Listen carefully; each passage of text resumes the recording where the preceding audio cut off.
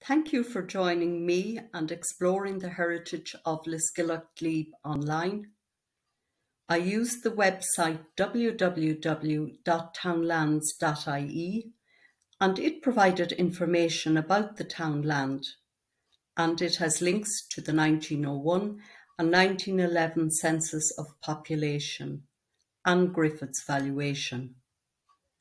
We looked at the 1901 census for the Baxter family.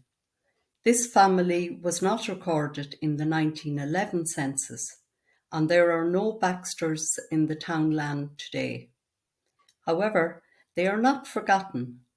I have an interest in field names and I do know that there is at least one field which is known as Baxter's Meadow. This would have belonged to the Baxter family at one time. In the 1911 census, we looked at the Canning family. That family featured also in the Griffiths valuation that we looked at.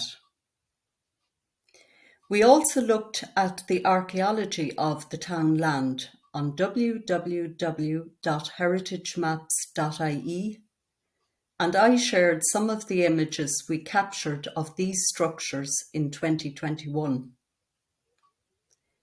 We established that there were 32 households in the 1901 census.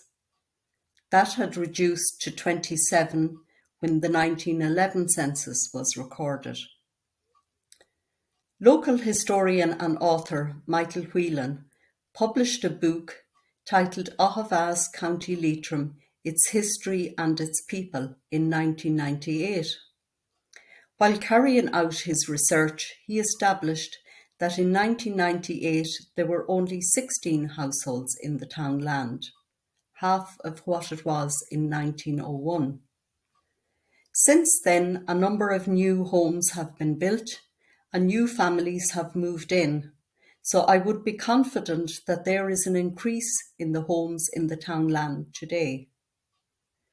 I hope this presentation will inspire you to explore your own townland. Thank you for listening and I wish everybody a very happy Heritage Week 2021.